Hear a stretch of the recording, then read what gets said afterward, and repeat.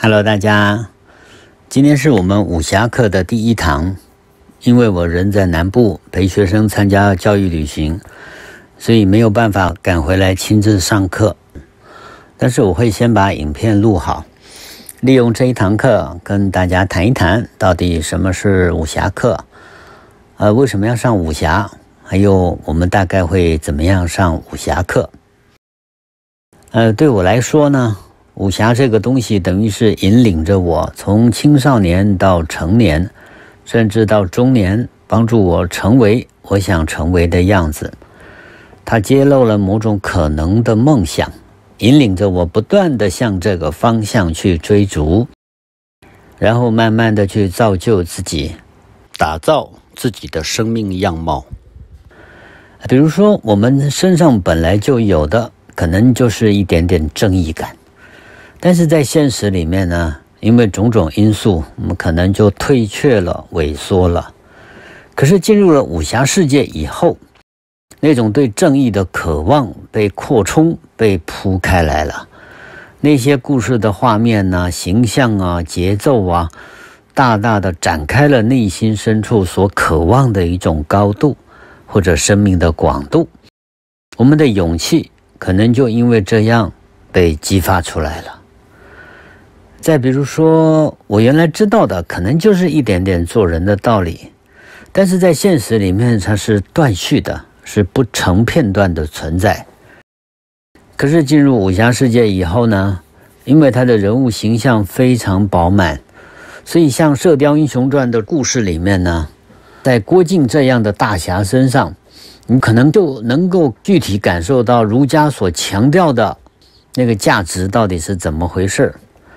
在《笑傲江湖》这样的故事里，我们就可能会强烈的感受到道家所揭示的自由感是什么。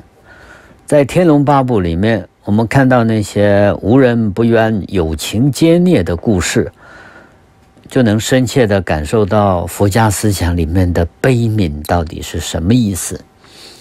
换句话说，武侠小说这种东西啊，虽然很多人。都只把它当做成人童话来看，呃，虽然那里面只是一个又一个荒诞不经的故事，有时候夸张起来简直就骗死人不偿命，呃，但是在这些虚构的故事里面，却有大量的真实元素。所谓的真实呢，不只是历史场景的真实，而且是人性的真实。尤其是义理的真实。什么是人性的真实呢？故事是假的，人物是虚构的，但是它里面的情感是真实的、合理的，而且通过有效的艺术手法，它可能比现实更清晰、更深切。我们在那个世界里面感觉到的是更内在、更完整的自己。是还没有被生活给切碎的，还没有被现实给庸俗化的，是还没有被社会化、没有妥协之前更完整的自己。比如说，看到乔峰在雁门关外自杀的时候，很多读者都哭得不能自已。这乔峰明明就是虚构人物，我们在哭什么呢？我们哭的。其实是人性中最高贵的东西，那是千真万确的真实。那么，什么是义理的真实呢？一个武侠小说的作者身上有多少的文化涵养，那么他手底下的武侠世界就有多少丰富的文化元素。这个义理的真实，就是来自作者身上积淀的文化素养。比如说《神雕侠侣》里面的九阴真经，那当然是虚构的。但是九阴真经里面的句子“天之道，损有余而补不足，是故虚胜实，不足胜有余”，那是千真万确的真实。因为前面那句就是老子《道德经》里面的原文。再比如说《射雕英雄传》里面的降龙十八掌，当然是虚构的。但是那里面的招式名称却都是真实的。因为那些亢龙有悔啊、现龙在田呐、飞龙在天呐、震惊百里呀，全都是《易经》里面的句子。十八掌里面除了双龙取水来自佛经，神龙摆尾改自《易经》的吕狐尾，其他每一招都有来历，都来自《易经》，那都是中国哲学的古老经典，是真实的。再比如说《笑傲江湖》里面，向问天对黑白子说：“好比下棋、力斗、搏杀，那是第九流的棋品。”一二品的高棋却是入神作照，入神作照是围棋的境界。最早记录见于三国曹魏邯郸淳的《易经》棋品，后代的《玄玄棋经》把围棋分成九品，就包括入神、坐照、具体、通幽、用智、小巧、斗力、若愚、手拙。这些品级全部都是生命哲学的境界，那是真实的。再比如说古龙的《楚留香》，改编成电视剧以后，你看香港的才子黄沾帮他写的主题曲，那也是很厉害的生命境界。湖海洗我胸襟，讲的是胸襟的宽阔高洁；河山飘我影踪。讲的是浪迹江湖，云游四海。云彩挥去却不去，赢得一身清风。讲的是两袖清风，一无挂碍。就因为修养境界高，所以沉沾不上心间。人生最难得的是一种真正的洒脱。所以说来得安，去也写意。人生休说苦痛，武功高强在这里只是小菜一碟，因为他未济风波中英雄勇，名声远播更是不在意下。所以说，就让浮名轻抛剑外。生命真正的独立是无所以傍。所以说，千山我独行，不必相送。所以说，这些境界当然是真实的，它是文化上的真实。如果作者的功力够深，那么他所写的武侠小说，可能就是一部中国文化的浓缩版或者是通俗版。如果能够进入那个情境，一打开武侠小说，可能一下子就能进入那个古老的世界，神游其间，浑然忘返。武侠小说有它的文化背景，它其实是非常中国化的产物。它和西方的骑士文化相当不同。它起源于清末民初，正好是旧社会和新社会交接的那个时间。那一群旧社会里接受了充分传统教育的读书人呢，他在新旧交接的时代里。创造出了这么一个世界，所以这个世界里几乎是下意识的，或者是不自觉的，他在面对新时代的冲撞时，他在努力寻找古典世界里更强大的东西来对抗或者回应这个变化中的新世界，因为这些创作者的文化背景。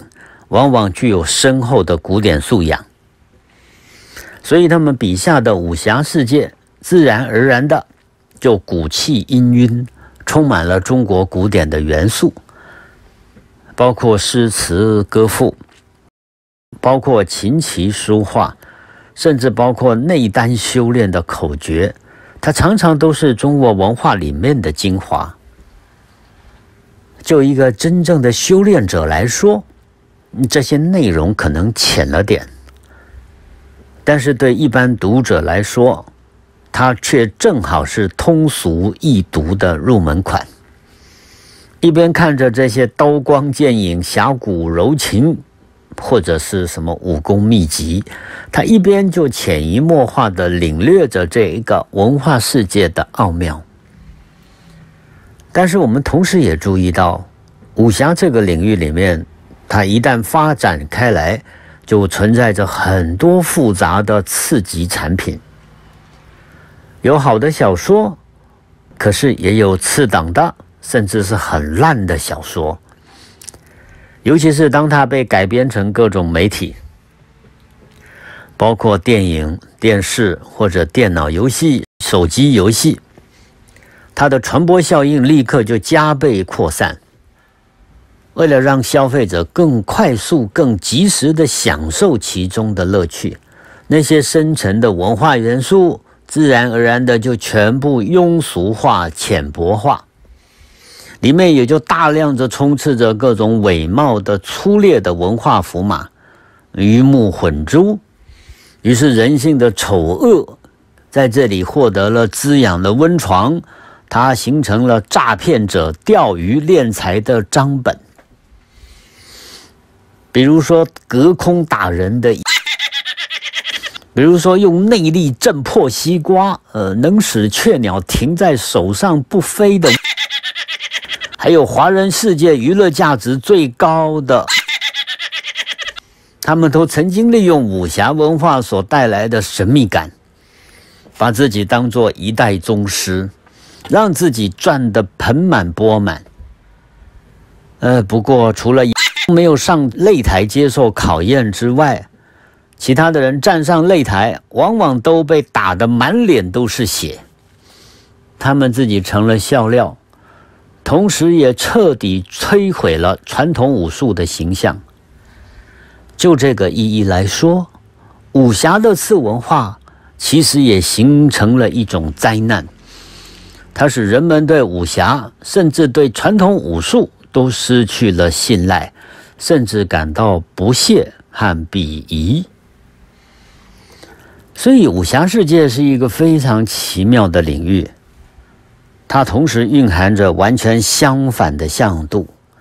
它既是中国文化里面各种精华的融合体，足以引发我们对生命哲学、对身心修炼的无限热情；同时，它又是某种低劣的次文化的养成环境，形成了许多江湖诈骗集团盈利的温床。所以，我们开这个课呢，主要的用意在于一种文化上的深入认识，或者再发现。当我们有了一定程度的深入理解之后啊，自然而然的就能够拨开许多武侠神话的迷雾，有机会成为深入的解读者，不再成为庸俗肤浅的看客。或者是为那些低俗文化的产品买单，同时通过有效的解读，它也完全足以成为一个敲门砖，领略古老经典，引导我们在最自然的心情里尽情感受古老文化的精华和璀璨。就一个整体的方向来说，武侠世界其实可以说是一个生命极大化的展示。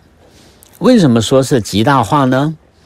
比如说，从一个孱弱的书生变成一个可以力敌壮汉的高手，变成手握紫电青霜的剑客，变成内力深厚的修行者，变成生命哲学的参悟者，这当然是生命能量的一种极大化。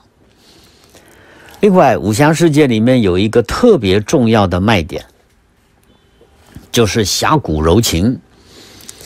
那里面有一种人跟人之间的对待，我们的情感从浅薄、短暂，或者是庸俗，变成了一生一世，变成了生死已知，变成了锄强扶弱，变成了伟大的同情。以前北大校长罗家伦说的“侠出于伟大的同情”，这当然也是生命能量的一种极大化。我们光是在阅读和体验的过程里，就能享受到那个情感上的蜕变和升华。当然，武侠小说里面也会揭露许多情感的困境，比如说《神雕侠侣》里面的李莫愁。那是一个最典型的被爱情困住的角色。他的生命在最美好的时刻遇见了陆展元，但是陆展元后来选择了何元君。他们的新恋情很美满，但是熬不到李莫愁前来报仇，就已经双双去世。可对李莫愁来说，他们的幸福再短呢，恨意也不会因此稍微减少。他接下来的后半生都被仇恨的火焰所折磨，一直到他在绝情谷里被烈火烧死为止。这个时候，我们所阅读的可能就不是只有李莫愁一个人，而可能是所有生命的情感困境。我们可能会因此发想。如果他有出路，那可能会是什么？他为什么出不来，或者不出来？如果他能出来，那么他最可能的途径是什么？他的师妹小龙女在这里面扮演的作用又是什么？情感的困境不会只有一种，在金庸小说里面到处都是。武功盖世的王重阳和武功高强的林朝英相恋了一辈子，终究无缘，好事难携。为的是什么？《天龙八部》里面的天山童姥和李秋水爱慕了无崖子一辈子，最后发现原来无崖子爱的是别人，这怎么回事儿？在《倚天屠龙记》里面。纪晓芙遇到了杨逍，说他力不能拒，失身于他。但是他失身以后生下的女儿，却叫杨不悔，这又是怎么回事儿？他因为不愿欺骗杨逍，宁可被师父灭绝师太一掌打碎了天灵盖。他失去贞洁，失去婚姻，失去名门正派的归属，甚至。也为了这个男人失去了生命，可是他却给孩子取名叫不悔。那里面到底是什么吸引着他，让他失去一切却终不后悔？杨逍虽然得到了纪晓芙不悔的真爱，但是老天爷却附赠了爱人的死亡和终身的良知谴责。这样的爱情，我们又该如何看待？范瑶爱慕戴启思，教主亲自做媒，结果对方的举动是横剑自噬，宁死不屈，这是当众羞辱啊，绝无余地。像范瑶他这么刚烈的人，在感情上却挫败得如此彻底，那么在接下来的数十年，他的感情生活会是什么？像他这种能在脸上剁十几刀的人，一个愿意耗数十年光阴舍去身份来追求真相的人，一个高傲至极、随手就能下手剁掉自己两根手指头以明志的人，作为一个英雄或侠客，他的分量可能都真金足两，但是在感情世界里，他始终只能扮演一个苦闷的爱慕者。他最后放过了无缘的情人，下手毒死了情敌，却得不到任何东西，终身形单影只，在情感上只剩下无尽的妒恨和寂寞。像杨逍、范遥这样的角色，都是英俊潇洒的美男子，最后都在感情上吃尽苦头，是终身未娶。人间情路其实才是最难的江湖，凭你有天大的武功都解决不了。这样的人物和故事特别启人深思。所以，人到底应该活成什么样子？我们要成为什么？应该往哪里去？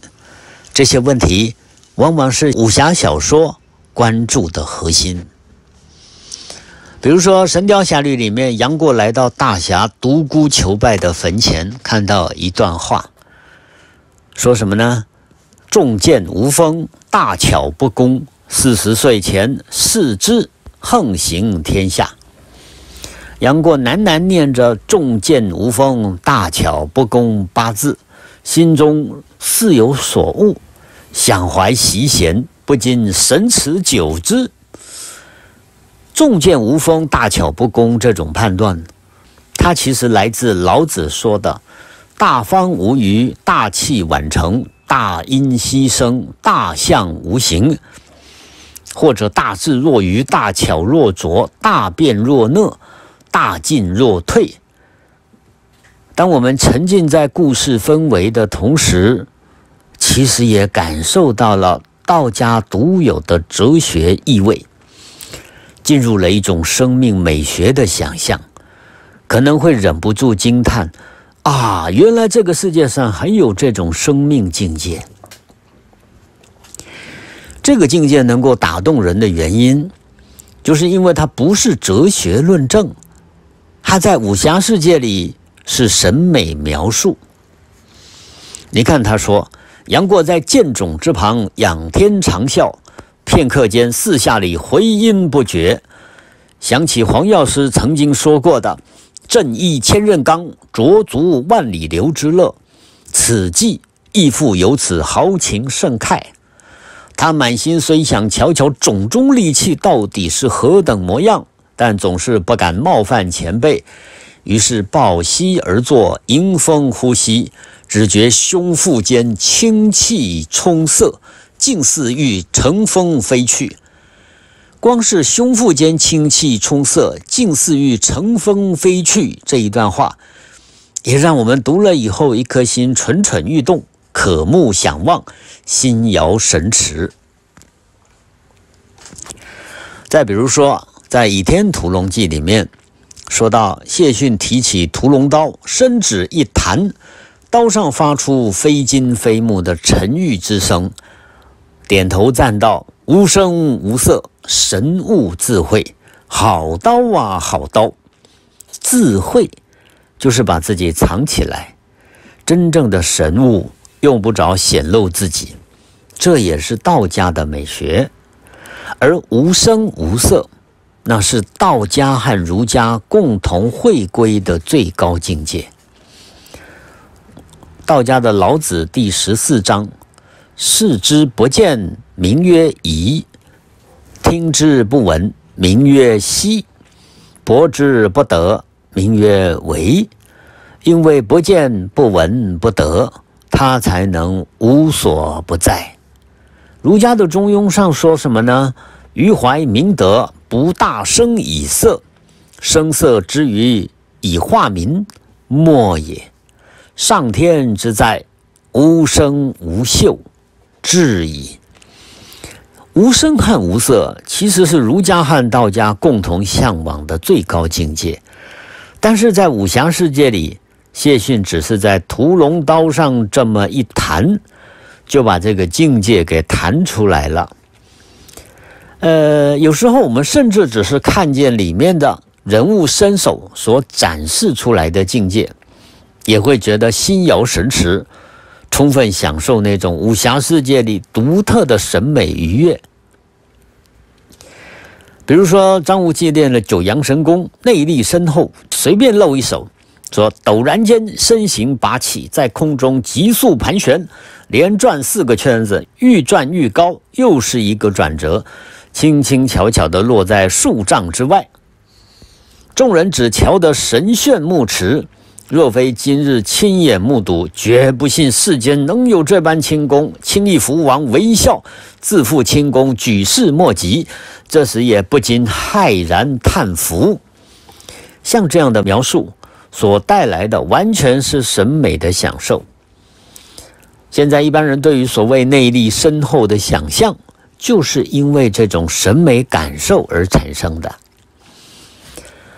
另外，金庸创造了一个家喻户晓的小龙女的形象，这明明是虚构的，但它却满足了我们对于一个纯洁的女孩子，或者是对于心如止水的修行者最高境界的想象。甚至他这个形象完全是中国哲学的具体展示。你看，他说：“小龙女自幼修为，无喜无乐，无思无虑，功力之纯，即使是师祖林朝英亦有所不及。”他武功高强，练的是什么呢？是玉女素心剑法。什么叫素心呢？陶渊明移居诗上说：“闻多素心人，乐于数晨曦。”清代的纪晓岚解释啊。心如枯井，波澜不生；富贵亦不睹，饥寒亦不知，利害亦不计，此为素心者也。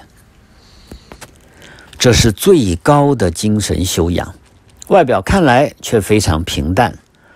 那么看理论，我们不一定有感觉，但小说里通过故事展示了平淡的最大可能，也展示了一种人物之美的极致。其实武侠世界会让那么多人着迷，除了展示着生命的极大可能，它也展示着很多生命的重要困境，让很多人在阅读时感受到共鸣，甚至从中获得启发。比如说，金庸创造了一个从来不出场的人物，叫做独孤求败。独孤求败虽然没有真正出场。却通过他留下的只字片语、剑法精髓，不断影响着书中的角色，包括《神雕侠侣》里面的杨过，也包括《笑傲江湖》里面的令狐冲。这两个主角练他留下来的剑法，差不多都快成了天下第一。那么独孤求败这个角色有什么特色呢？就是求败，他留下来的遗言说。纵横江湖三十余载，杀尽仇寇，败尽英雄，天下更无抗手，无可奈何，唯隐居深谷，以雕为友。呜呼！生平求一敌手而不可得，诚寂寥难堪也。这一条叙述大大挑战了我们在这个世界里阅读时的思维惯性。为什么呢？武侠嘛，当然要求胜，要天下第一。可是他反过来了，他一直天下第一，他觉得这样好烦哦。能不能找个人打败我？这个人因为厉害到了极致，世上无敌，最后只能在深谷里隐居。可见他武功深湛精妙，实不知到了何等地步。但是他同时也凸显了一个问题。而且是人类存在的永恒问题，就是孤独和寂寞。即使是武功惊世骇俗，但是解决不了这个问题。他武功越强，他反而越加寂寥难堪，最后郁郁而终。所以，武侠小说里时常通过一些古怪的、奇特的所谓第一流的人物，来凸显这些关于人类存在的终极问题。比如说武功盖世的东方不败，这可能是金庸所创造的最有名的角色了。这个人武功天下第一，他曾经说：“呃，我初当教主，那可意气风发了，说什么文成武德，忠心圣教，当真是不要脸的胡吹法罗。”直到后来修习《葵花宝典》，才慢慢悟到了人生妙谛。其后勤修内功，数年之后，终于明白了天人化生、万物滋长的要道。呃，什么叫修习葵花宝典？就是挥剑自宫。他秉绝了所有的兄弟和教众，把自己关起来，成了一个变态狂人或者变性人妖。这种吊诡的转变，使这个人物形象变得怪异奇特、奇诡莫测。这当然也是审美对象的一种，可是我们总会在这种角色里感觉到一种不安啊！原来天下第一成了这个样子，那么我们要的到底是什么呢？我们在阅读的时候可能会不知不觉开始思考，到底人应该往哪里去的问题。不是只有独孤求败和东方不败这种顶尖的高手才有这种问题。其他的高手也常常有。比如说《天龙八部》里面，少林寺玄成大师武功卓绝，为百年难见的奇才，最后练功夫把自己练瘫了。哎，可就在那个时候，他的佛法才开始有进境。鸠摩智一生武功尽废，哎，最后成了一代高僧。慕容博、萧远山都是盖世的武功，但是他们练了少林七十二绝技的结果呢？却是病入膏肓，生不如死。为什么呢？因为习此绝技，力气终于脏腑，缠绵难愈。功夫练得越强，越是生不如死。呃，所以人有多大的修为，就能化去多大的力气，也就能练越厉害的武功而不受伤。只有修为最高的扫地僧。他能够尽通七十二绝技而毫发无伤，所以其间的利害得失特别启人深思。就我自己的阅读经验来说，武侠世界可以说是生命可能性的展开，是一场生命美学的形象展示，是一场文化探索的旅程。如果没有接触这个世界，很多的哲学经典可能是硬邦邦的、悬之高阁的、遥不可及的存在。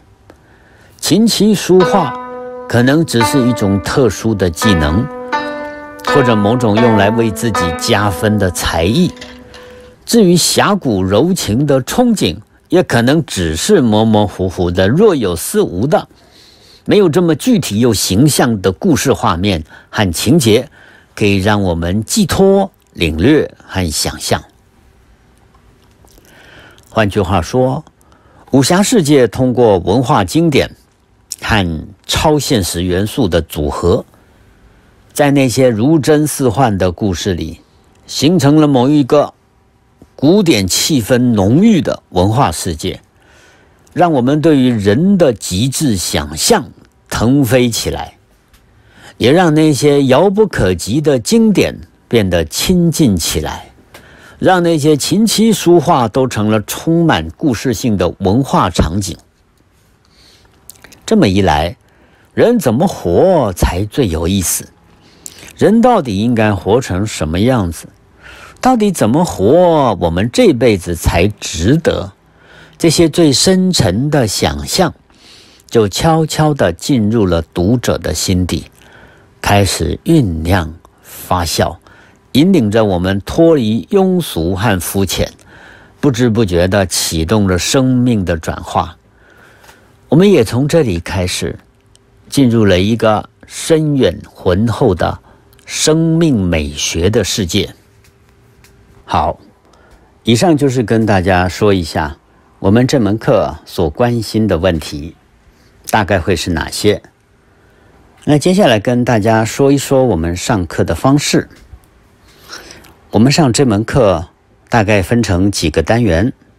第一个单元就是概论，老师来开头，大概为大家讲一下这门课是在做什么，为什么要上这门课，然后什么是武侠，武侠的观念大概是怎么发展的。然后武侠小说的历史发展大概如何？先简单给大家做个武侠概论。当然，因为这是最开头的单元嘛，也包括你们的自我介绍，所以下个礼拜要请每个人都上台来说说话，做一下自我介绍，说说你过去接触武侠的经验如何，对武侠的想象和理解是什么。然后说说看你为什么选这门课？你对这门课的期待大概是什么？然后你们有没有特别希望老师可以在这门课里面给出什么？比如说，有些同学是冲着武术来的，他觉得这门课会传授武功秘籍；或者有的同学很想了解剑法到底是怎么回事儿。还有的学姐非常大胆，说想知道武侠小说里面的把人打飞出去是什么感觉，他想要体验看看。像这些特殊的要求啊，如果可能的话，也许我可以在某种程度上尽量做出一点回应。当然，前提是你们真的感兴趣。然后第二个单元就是武侠小说的阅读和发表。呃，大家可能会想，这门课不是从头到尾都在看武侠小说吗？啊，其实不是的。我会让大家在课堂上看武侠小说，但是并不是一整个学期，而是一个单元。也就是说，在这个单元里，我会截录几段武侠小说的文字，做成讲义，印给大家。让大家在课堂上现场阅读，读完了以后啊，会有一段时间让大家分组讨论，然后就是发表。讨论是分组进行，发表也可以同组一起上台，但是评分一定都是个别评分，所以在这门课里头不会有被猪队友拖累的问题。而且每一个人都要努力让自己习惯上台，要练习把自己的感觉说清楚。这是我们这门课的一个训练重点。呃，武侠世界里面当然是以小说为主，但是也不限于小说。所以第三个单元，我们要让大家换一个接触的方式，就是看电影。我就在课堂上播放影片。所以大家也不用另外特别去找。看完影片之后，一样的会有一段时间让大家分组讨论，也一样在课堂上进行发表。每一次的发表都会有一个分数，四个单元就会有四场发表，那就至少会有四个分数。如果你缺席了，就一定要自己找时间补报告。如果你没有主动补报告，只要有一个单元零分，这门课就不会过喽。所以一定要记得，你们以前有学姐缺席没有报告，她觉得反正我没来，我应该就不用报告。那她不来，我再怎么说也没用啊，最后就被当了啊，这我也没有办法。第四个单元就是整个学期的重头戏了。也就是你们要分组进行专题报告。所谓专题报告的意思呢，就是你们要自己去找你有兴趣的主题，看看你是想要报告哪一本小说，或者是哪一部电影。先把文本的范围确定下来，然后把文本看完，选定一个主题，针对这个主题来做报告。比如说，有的人想要报告张无忌的感情世界，那有人想要报告李莫愁的性格分析，呃，这都是属于人物角色的分析，这是最多人选择的题目类型。但是你也可以报告武侠小说里面关于吃的描写，或者报告某一本小说里面的武功招式名称，解释它的内容、含义跟来源。或者研究的更深一点，去谈某一本小说里面的生命哲学，或者谈谈里面的师徒关系，或者从某一个特定的时代背景去谈某个人物的设计跟塑造。比如说，有人想要专门研究王重阳，看看历史上的王重阳和小说中的王重阳到底有什么差别。总之呢，范围是非常自由的。只要是武侠世界里面的内容，任何主题都可以当做专题。这个专题是重头戏，所以要求比较高。你们每一组都一定要做成一个简报档，还要把你们这场报告里会提到的武侠小说片段事先提供给我，我会提早帮你们排版做成讲义，然后在你们报告的时候现场发放。让同学一边听报告，一边还可以阅读那些片段。这样除了让大家能够更能够深入思考以外，还可以同时扩大同学的阅读量、阅读范围。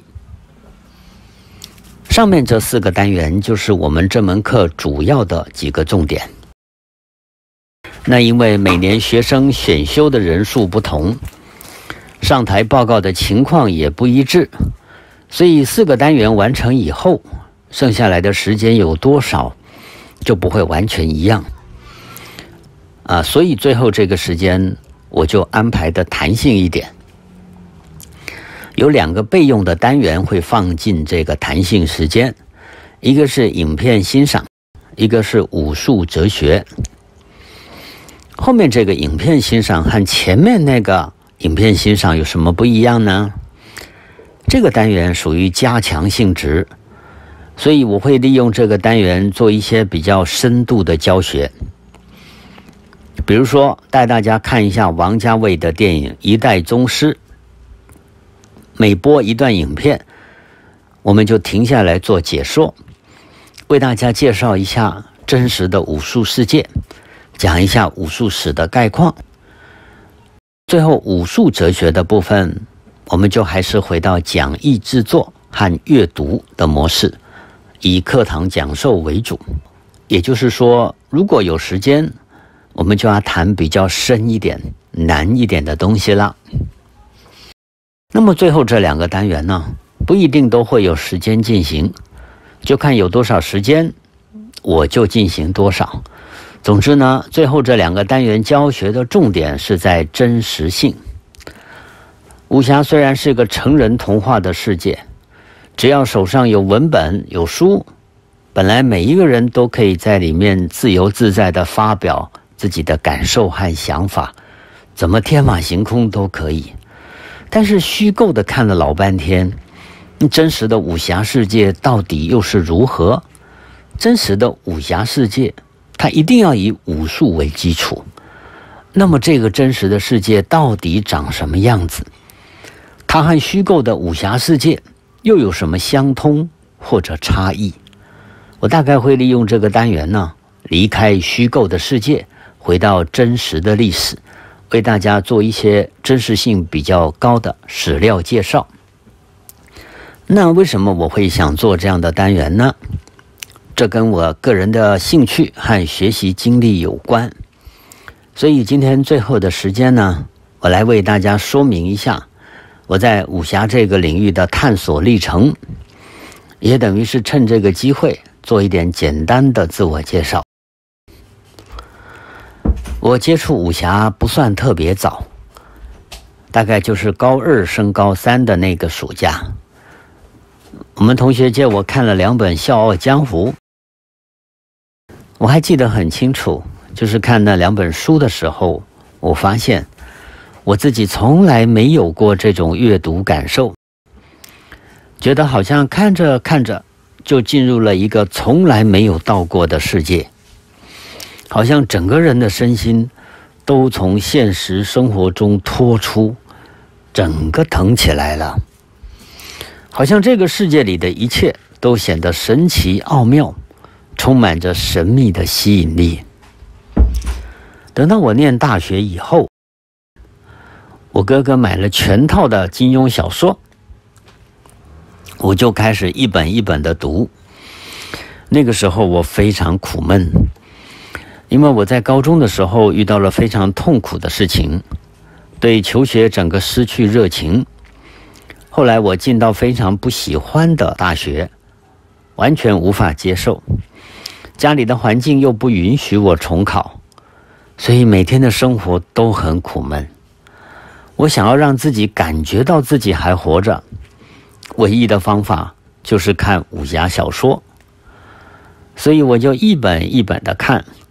把整套金庸小说都看完了，看完了以后觉得意犹未尽，我就重看一遍，就这样反反复复的看，差不多每套都看了四十遍。那么当时的金庸小说对我来说啊，就像是提供了一个宽阔无比的想象空间，让我的灵魂能够稍微喘口气。这里面既是虚构的，又是真实的，虚构的是人物和情节，但是那里面讲的其实是关于人活着应该是什么样或者人可以活成什么样的问题。这些对我来说，比所有的事情都真实。另外，因为武侠小说里面呢，都是古典的文化元素，通过精彩的人物形象，让这些古老的文化整个鲜活起来。于是我开始想象，如果我自己去读古典，又会看到什么呢？如果我自己来学这些本事，又会学成什么样子？那里面的诗词歌赋。我可以自己去读啊，那里面的琴棋书画，我可以自己去学；那里面的拳法剑术，我也可以自己去练；那里面的静坐内功，我也可以去实践；那里面的哲学经典、生命境界，我也可以自己去参悟、去体会。就是这样的心态支撑着我走过苦闷的大学生活。同时，因为这种文化上的强烈向往，书院生活就成了我的另外一个重心。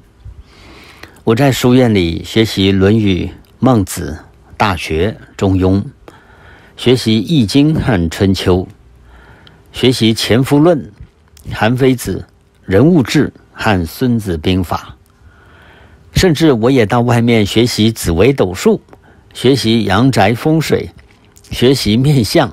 学习针灸经络，学习内丹静坐。同时，我用了许多时间和心力去练习武术。我高中一年级就开始学习空手道了，高三的时候开始去学习硬气功，然后紧接着学习八卦掌、形意拳和太极拳。接下来四十年的时光。它慢慢就变成了我生活里最重要的东西。等到后来我念研究所，所写的毕业论文就是庄子美学思想研究。等到再念博士班，所写的毕业论文就是以术正道，对内丹学和内家武术的探讨。换句话说，我的人生路径。生命样貌、专业取向，到整个生命信仰、安身立命的所在，都往这个方向去发展。所以对我来说，武侠就不能只是成人童话，不能只是想象力的满足，不能只是休闲娱乐，它还是我对生命的认识。甚至是整个梦想腾飞的起点。也因为这样的关系，我在这个领域里在乎的，就会和一般侠义文学有所不同，会多一点实践性的取向。我会特别在乎那小说里面所引用的经典，所创造的名目，所诠释的理论，到底是从哪里来的。我会在乎它的真假虚实，在乎它能不能真的用上，在乎它对我到底有什么意义，怎么理解它才是最恰当的。那么我们在这门课里头啊，主要的用意就是通过这样的接触和引导，让大家有更多的契机，可以由虚入实，探离得珠。找到一个最鲜活的、最自然的路径，去进入这个生机勃勃的古典文化的世界。欢迎大家进来这个世界，谢谢大家。